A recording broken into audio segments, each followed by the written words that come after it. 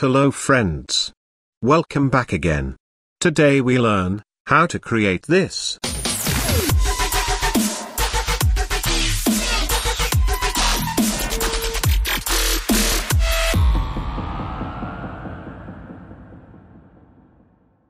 First of all we will create a new composition.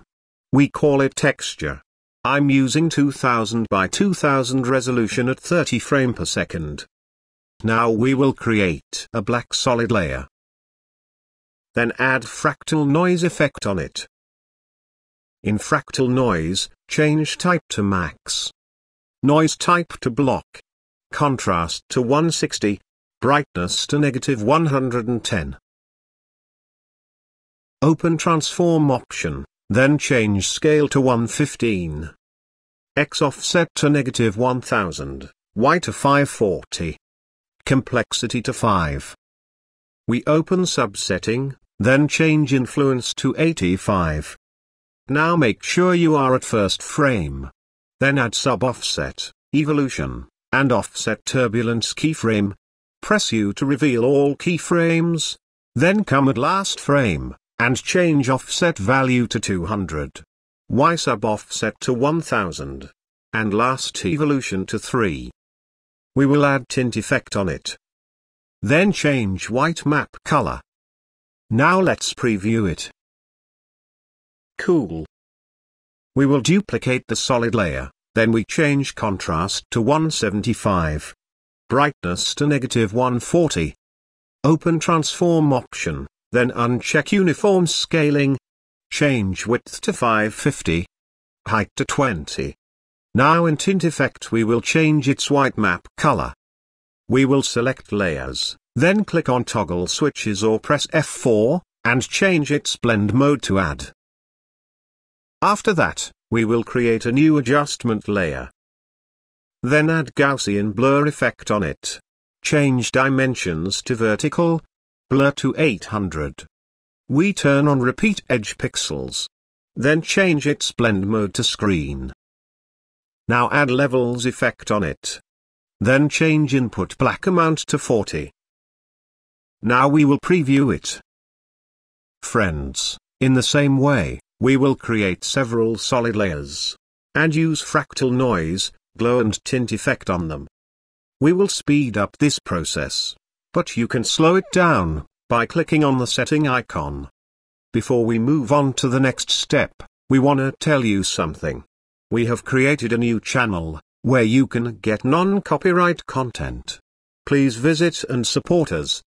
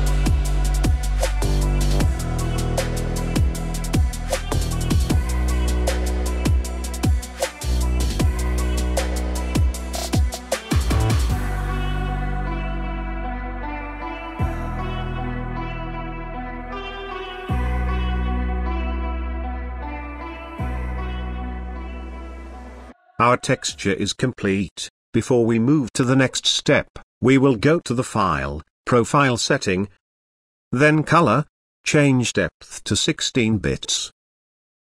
Now let's preview it. We are going to create a new composition. We call it main. This time I'm using full HD resolution. Now insert the logo, by drag and drop. And adjust its size. Then create a pre-compose. Make sure Move All Attributes is selected. Now go to Layer. Then Auto Trace.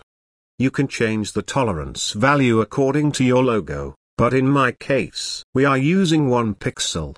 And make sure Apply to New Layer is on check.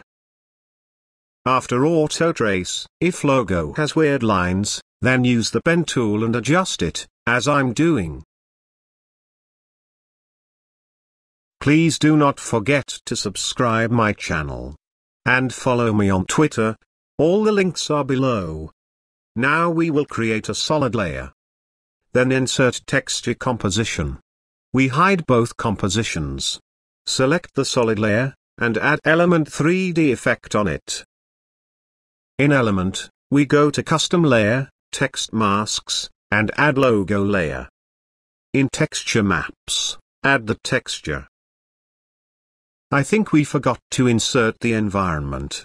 You can download all the assets from the link in below. Now in the custom texture, add this. After adding all the assets, click on Scene Setup. Now we click on Extrude to add the logo. Go to Scene menu, and select the bevel, we change its extrude amount to 0.10.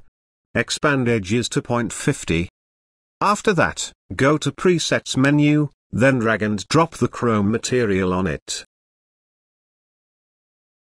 Now we will duplicate the model by Ctrl D. Then move it back. We drag and drop the black gloss material on it. Now select the black gloss, and change its extrude value to 0.07. Then we will move it forward. Again we will duplicate the chrome model, and bring it to up. Then move it backward. After that, we adjust its extrude and expand edges. Again we duplicate the model, then drag and drop the green light material on it. And adjust its extrude and expand edges.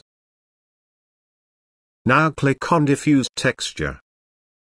And add Custom Texture. Then change the UV repeat to 8 and 4.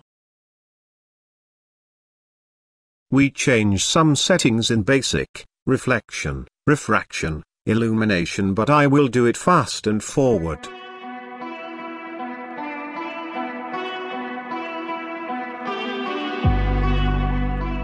All layer settings are done. Now we duplicate the first three layers, and adjust it on back side. Logo is done, now we will add a plane for background. In Edit menu, check two side plane. Then rotate it to 90 degree. Increase X size to 850. YZ to 500.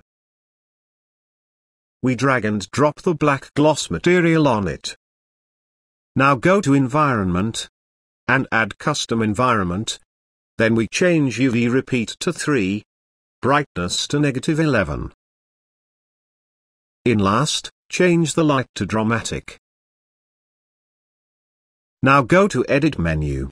Right-click on Plane, Reflect Mode, and select Mirror Surface.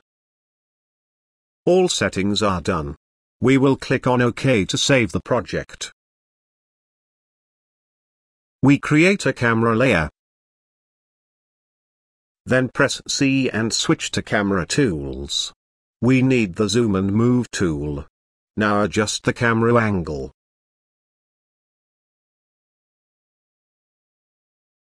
After adjusting the angle, create a null layer. Then link the camera layer to null. Now you can press F4, and turn on 3D. We press P for position, and add a keyframe.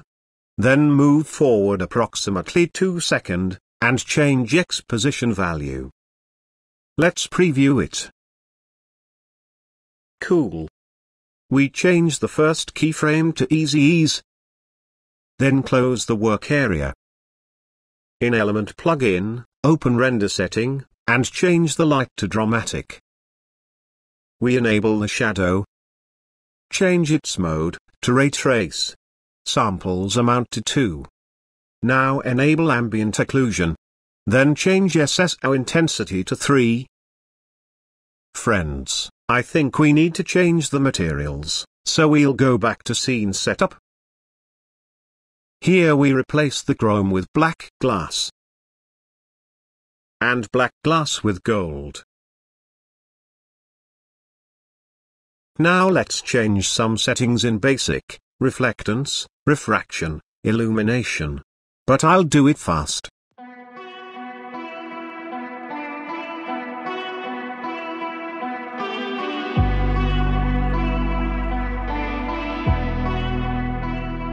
Our new gold is ready, let's come at backside. Here we will replace the chrome with our new gold. All settings are done. Let's go back. We are going to add the glow effect and set its radius to 300. Now insert the lens video, you can download it from below. And change the blend mode to add. Then we add levels effect. And play with the values. In Element plugin, we will open Multipass Mixer, and come to our first keyframe. Then add all multipass keyframes. We press U and come at first frame then change all values to 0. We also change all the first keyframes to easy ease. Now we will create a new adjustment layer. And add hue saturation effect on it. Then we change its saturation to 5. If you think the blue element is so bright, then in Element plugin, go to Additional Lighting, and change the Z rotation value. Now let's preview it. Friends, editing takes time. I used everything shown in this tutorial, and spend a lot of time to create this. If you want to create a good animation give it time. If you found this tutorial useful, please like and subscribe. And project file link in below. Please give us your valuable feedback. We'll meet on the next tutorial, and be happy.